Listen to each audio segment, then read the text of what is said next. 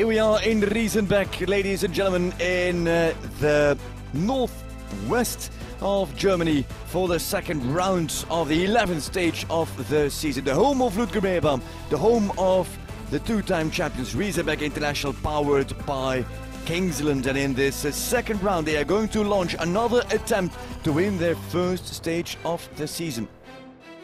The overall standings on the championship. Cannes Stars 6 in front of Stockholm Hearts. Stockholm Hearts 11 in front of Doha Falcons. And then tight margins. Falcons to Riesenbeck, to Valkenswaard and to Prague in the battle for the top four. These are the standings. Cannes Stars clear Riesenbeck International with a time penalty. Four teams on four, including the surprises of New York Empire. This is the surprise of round one the 12 penalties and the 11th place of Stockholm Hearts powered by H&M We Love Horses with Philippaerts and Philippaerts with Olivier and Nicola. And the first trail goes straight away behind Madrid in motion. It is already a one-place drop for Stockholm Hearts at the first fence. Nicola Philippaerts with Luna van der Ruitershof, she responsible for the four penalties. Stockholm Hearts so far have managed to jump at least one clear at every stage and this is the first stage this season that they failed to jump at least one clear.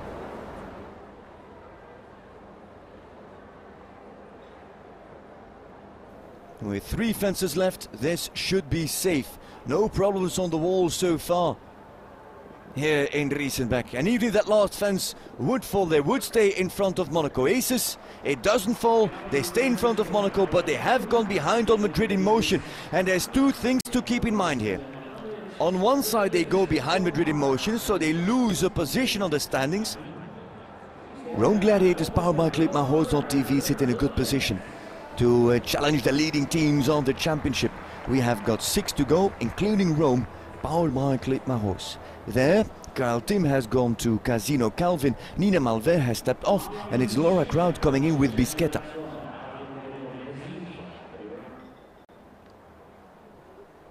Flies over that oxer with Bisquetta, winner of a speed class on day one, two-face class I should say, to be correct. The Mehmet Bisbalou there, deep to the vertical, and then a great stretch. Oh, what a beautiful effort from Bisquetta to come out of the combination. It looked like she came in, or they came in a bit too fast, and deep to the vertical, and then an enormous effort, first at the vertical, and then at the oxer. Bisquetta and Kraut, good for the time. And clear, and Rome Gladiators have got plenty of margin. They have got two rails and eight penalties in hand on Prague Lions. Yeah, that with Kyle Tim still to go, but a great clear from Bisquetta and Laura Kraut. Two rails in hand. Plenty of options now. And comfort, oh, big touch there for Kyle Tim and Casino Calvin. 85 allowed. Kyle Tim Double clear for Rome means the lead for Rome, and it is the lead for Rome. Rome Gladiators have taken the lead. Interesting situation now because we have got uh, five teams still to go. This is now a serious option on a podium. Valkenswaard United now, where Ening is on Coolio and Gilles Thomas is on Elfra van Beek. All good so far for Ening. How is he for the time? Can he give uh, Gilles Thomas a little bit of margin? Can he finish around the 80 seconds?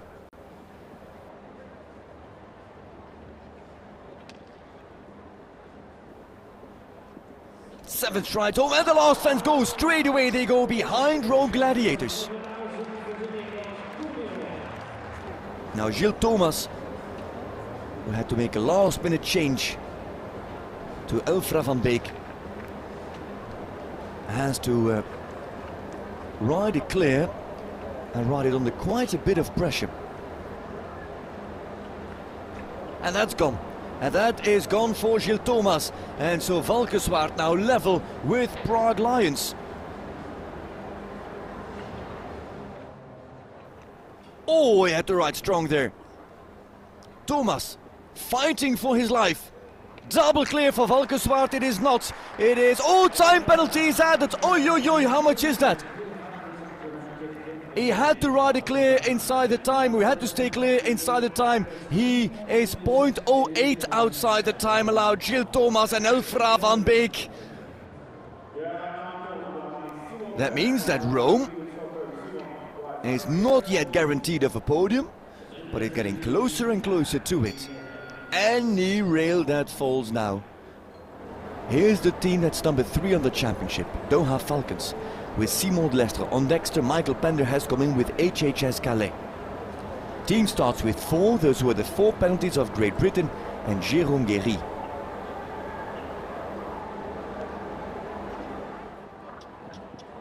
All flat? Yep, that's gone flat. Doha posting a fast time, of course, with uh, this Simon Delestre. Oh, that's gone. And now they level. Oh, and they're behind Prague Lions. Doha Falcons have given up enormous margin now. A sixth place drop for the Doha Falcons, and that could have an impact because they could also get overtaken on the championship by Riesenbeck. First, let's wait and see how Michael Pender does with uh, HHS Calais. Time-wise is good. There's Michael Pender. Clear from him, clear for Doha Falcons, but the team finished sixth at the moment and still three teams to go. It is 16 their score, and the Gladiators could very well make the podium. There, down there, you see Dennis Lynch on Cordial as part of New York Empire, powered by Lugano Diamonds. This year, a second place in Mexico City. They've broken that spell already, but Lynch has got a fence down and Rome Gladiators are guaranteed of their second podium this season. Ay, and that's gone. And now it is 16. And where do they go? New York Empire are flirting with uh, the Doha Falcons. They won't make the Falcons time. No, that's impossible. Not after the 83.06 of uh, Dennis Lynch. Vogel with Sidello to take New York Empire away from that last place. It's going to be a close call. I thought it was undoable. If they stay in front of Doha, they will move away from last place and that goes. And the last fence is gone for New York Empire. Last place would be shared by Scandinavian Vikings and by New York Empire. Both on the same points tally.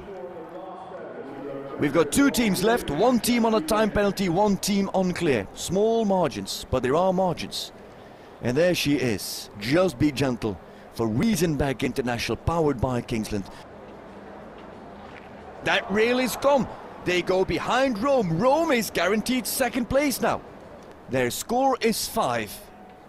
One rail for Just Be Gentle and Kukuk straight through the middle. And home time just inside the time allow there.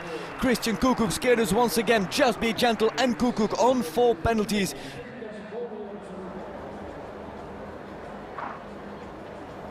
One rail can fall to be guaranteed of a podium.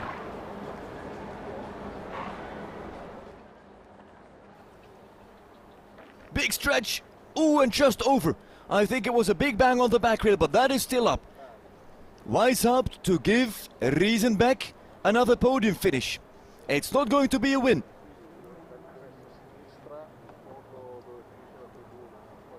And they've kept the pressure on Canstar still to go. There's Weishaupt and Kobe inside the time. The team total is five. They are ranked second at the moment.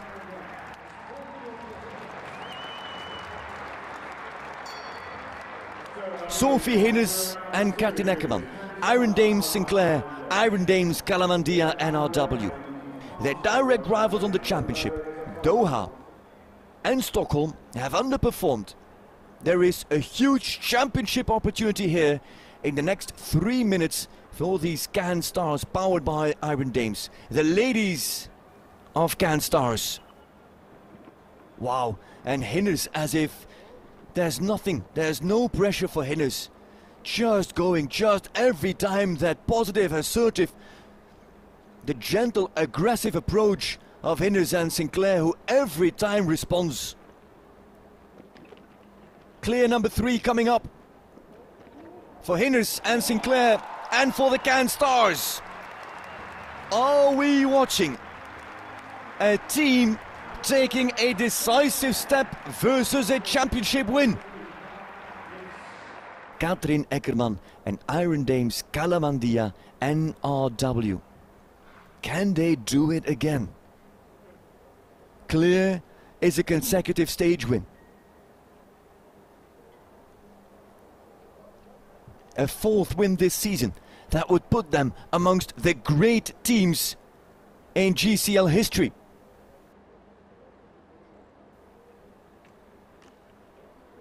They are becoming serial killers, these Cannes Stars. Cold-blooded serial killers. Are they going to do it again? Back-to-back -back wins and a major jump on the standings. They've done it again. What a performance from Cannes Stars. Clean sheet number two.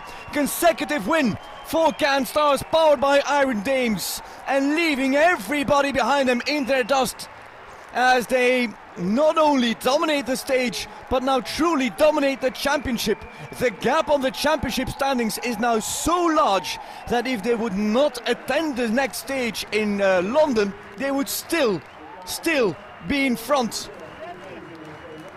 The domination of Cannes Stars powered by Iron Dames and look at the respect that these six ladies and their team deserve and get from this appreciative crowd here in Germany, in Riesenbeck. It's a victory gallop for Katrin Eckermann and Sophie Hinners. And keep in mind that Doha in the end finished 8th and Stockholm finished 12th. This is a huge stage for Cannes Stars. When your rivals do poorly, capitalize on their performance and make the most out of it. Rome Gladiators, credits to them. Second podium of the season. They have had ups and now they have their downs. And now they're up again in second. Riesenbeck just in front of Prague. What a stage. What an impact. Cannes Stars powered by Iron Dames. What a win yet again. Katrin, what's your response? Yeah, actually, I don't know what to say. I, I, I think we had a lot of pressure with Riesenbeck International in front of us. And even I knew I could do one down, but uh, we are in the top level and we all know how, how fast a fall can happen. But both our horses jumped amazing. Uh, we rode very good. I lost the stirrups there one line, so yeah, we were really fighting and uh, I can't describe these feelings. Just wow, a woman power. and it is a 26 point gap already on uh, the championship ranking between Cannes Stars and Stockholm. Doha and Riesenbeck are actually level at 196 and Prague Lions only 10 points behind on a fourth place ranking. But the win for the second stage in a row now is for Cannes Stars powered by Iron Dames. It is Rome Gladiators in second and Riesenbeck International in third. That's all from us here today from Riesenbeck, but tomorrow there is the Longines Global Champions Tour Grand Prix from Riesenbeck, the 11th of the season. Make sure you're once again with us live from Riesenbeck. Bye-bye.